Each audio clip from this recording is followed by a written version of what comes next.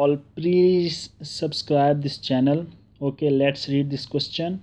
A moon cake with two eggs yolks cost two dollar more than a moon cake with one egg yolk. Okay. The first the cost of six moon cakes with two egg yolks and five moon cakes with one egg yolk is 130.8 find the cost of a moon cake with two egg yolks. Okay? Two egg yolks. Okay. So this is very simple question. Okay first we will suppose variables like moon one egg yolk and two egg yolks. Okay so we will suppose one egg yolk is x okay price of one egg yolk is x. So in the next page we will okay.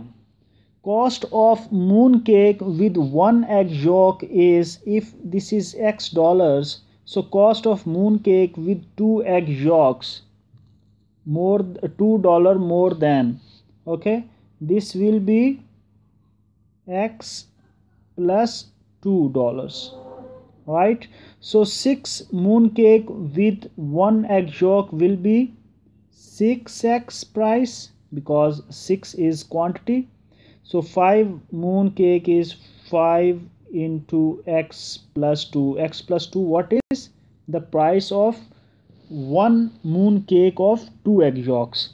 Okay given condition cost of 6 moon cake with one egg yolk and and means plus his total price is 130.8 dollars.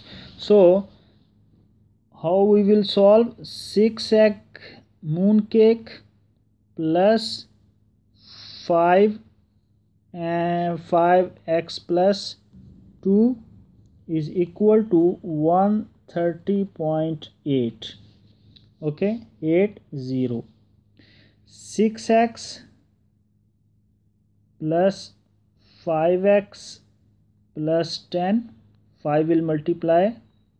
Inner side of the bracket is equal to 130.80 so 11x 10 will move other side.